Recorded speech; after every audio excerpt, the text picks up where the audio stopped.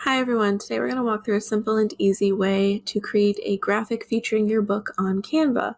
So to do this, you will need access to Canva, a 3D mockup of your book, and a little bit of time to create the graphic. If your cover designer did not provide you with a mockup of your book, then sites like mockupshots.com have lots of options. Mockup Shots is especially great because they also have mockups with your book in real life scenarios that are great social media content. We're going to focus on building an image from scratch for now, so you only need the 3D mock-up of the book itself, but do take a look at mock-up shots if you're interested. So back to Canva. The easiest way to create a graphic featuring your book is to place your book on a stock image of a table or on a colored background. It's very easy to find these on Canva in the left menu. You can find stock photos over in the photo section here. When you find one you like, just drag and drop into your canvas to make it your background. One that I do generally is I look up table. When you search table, you'll find lots of stock images of tables that you're able to use. When you find one you like, I like this one here, you'll just drag it and drop it into your background. One alternative to a stock image would be a patterned background or a solid color. To do this, you can go to the background section on the left menu here Lots of different options will load, including landscapes, patterns, gradients, and some other things. Make sure that you're choosing something simple if you're planning on using text. If the background's too busy, the text may be difficult to read. You also want to make sure that you're choosing a color that will make your book cover pop, because if it blends in too much, it won't stand out. Here are some examples of different backgrounds. Here you have a light colored background and dark colored text, and the cover pops out. In contrast, you have a dark background, light colored text, the color pops against the background. Here's an option with a solid colored background, where the cover still pops out and the text has contrast to the background color. Here's an example of a background that's not really the best. The background's busy, there's no contrast between the text and the pattern. It's just leaves a little to be desired. You keep scrolling down, pattern's too busy, Colors go well with the book, but you can't read your text at all. Then you have the instance of matching the cover colors with the background. This will make your cover blend in too much, and you really do want that contrast and you do want it to pop. So if we go back up to our original image, we want to add text to this. So to do that, you go over to the left bar and there's a text tab. You open this, click add a heading. That'll provide you with a big bold text to work with. When you're picking a font, you want to make sure it's something bold, has a lot of weight to it so that it stands out against the background. This is one that we've been using in this example. So if your message is coming soon, you'll want to type that out and then stretch to however big you want it to be. If you'd like it to be in all caps, there is a tool for that. You can move your text to the top and click this fancy little button here and it'll put everything in caps lock for you. If you want to make sure it's centered, you go over to position here and you choose center. It's faded out because it's already centered. So I'm just going to move this up a little bit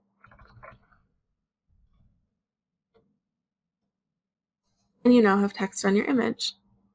A good way to check if viewers are going to be able to read your message is to zoom out to 25%. So come down here to zoom, choose 25. If you can still see clearly, it's probably good to go. But if your text looks like a fuzzy little line, your readers are not going to be able to see that. And if people can't see your message, then they're not going to be able to actually see your message. And you want to make sure that your readers are getting everything you're saying. Okay, so if we go back to our regular view, zoom out to fit. So say you have a background image that's a little busy, you really love it though, and you want to put some text on it. Say you want your book at a picnic, like this one.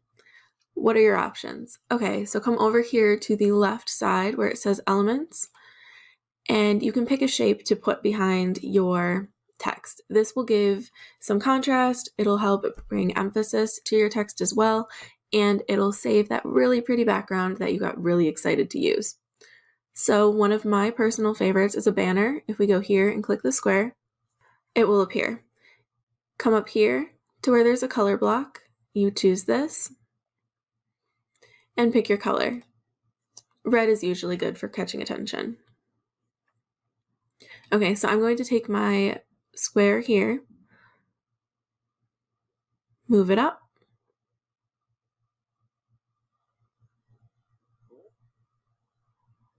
get it where I want it.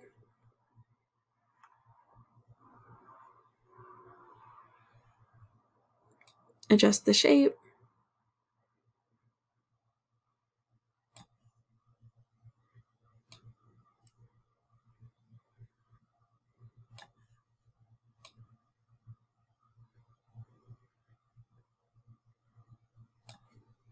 Go to position and click backward you now have a banner behind your text. Move it up with your arrows if you need to. And you now have a coming soon banner on your image. It makes this image a lot easier to read, and your message gets across very clearly. Another thing you will want to consider when creating your book graphics is branding. So if we go back up to our original graphic here, we can add branding in a couple of different ways. You can do a logo, you can do the website, or you can do your username. For this example, we're going to do the website. So if you come back over here to text and you choose add a subheading, that'll give you a medium sized font. So then you go in and just type your website URL.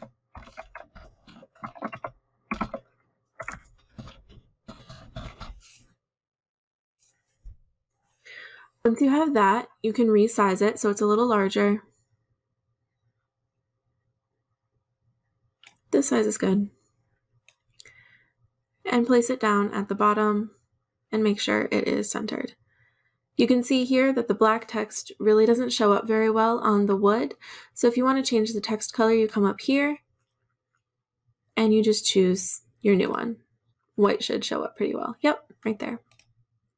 At New Shelves, we suggest branding your images for a couple of different reasons. First, branding will keep people from stealing your content.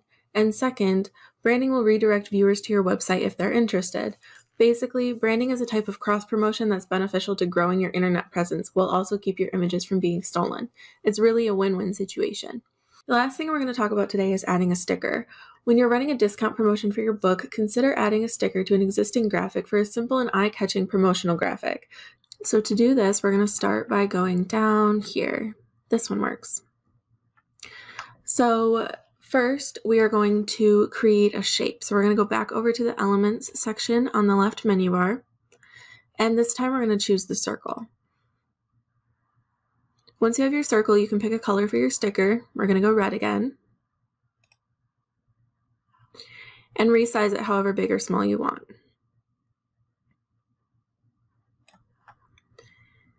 If you want to put it up here, I would suggest moving your book a little off center just so that it fits a little better. Okay. So now we're going to take our text from here, go to position, pull it forward, and edit it. So we'll write sale. You want this text to be in all caps. Come up here and click your uppercase again.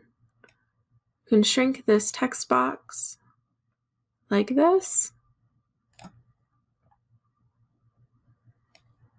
Grab it and drag it down until you see these little dotted lines that indicate it is centered in the middle of your circle. Then to select these two things to group together, click on your image and drag up, and this will select both. Come over here to group.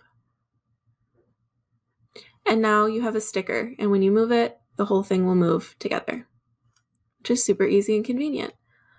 So to finish this one off, we just bring it back up here and shift the book over a little bit.